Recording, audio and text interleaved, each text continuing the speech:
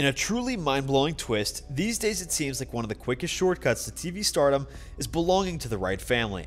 For example, even though there's no doubt that the Kardashian Jenner sisters have proven to be impressive business leaders, it is also true that they owe their fame to their father and Kim. On top of that, the stars of TLC's Extreme Sisters owe their role in the show to their familial connections as well. Now that the stars of Extreme Sisters have risen to fame, the show's fans want to know how much money they're worth since reality TV show stars get paid lots of cash.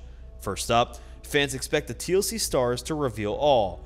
In this day and age, it certainly seems like a lot of fans expect to know virtually everything about their favorite stars. After all, if the masses weren't interested in the personal lives of the rich and famous, the tabloids and gossip websites would have gone out of business a long time ago. On top of that, stars wouldn't have to cope with the stress of being followed by paparazzi wherever they go in public. In a lot of cases, it doesn't make sense that the public expects to know so much about the stars. After all, just because someone decides to make their living acting, singing, or in athletics on a national level shouldn't mean that they have to give up any claims to privacy. On the other hand, when someone rises to fame as a reality star, it makes more sense for people to expect them to be open about their lives. That said, even when it comes to reality stars, they should be able to draw lines when it comes to what they're willing to reveal. When it comes to Extreme Sisters' biggest fans, many of them want to know everything about the show's large cast. Considering that Anna and Lucy have been willing to talk about some truly shocking aspects of their lives, you'd probably think that everything about the sisters and most of their co stars is known. In reality, however, there is one thing about the people that star in Extreme Sisters don't talk much about, and that is money. What is known about how much the stars of Extreme Sisters are paid? Since the stars of Extreme Sisters don't share exact figures about their financial situations, there's no way to definitively know how much of the show's cast get paid. However, that doesn't mean that nothing is known about the topic. For example, when it comes to some smaller reality shows, there's no way to know if those show stars get paid at all. When it comes to Extreme Sisters, it is clear that the show stars get paid. According to TV Overmind, the people behind Extreme Sisters posted a listing on Backstage.com in 2019 looking to find people to star in the show.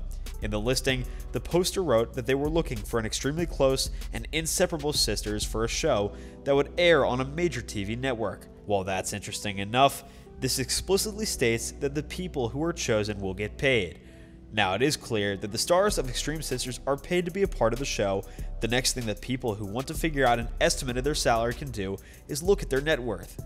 After all, in the aforementioned TV Overmind article that points out the casting listing, they suggest that the show stars are paid different amounts.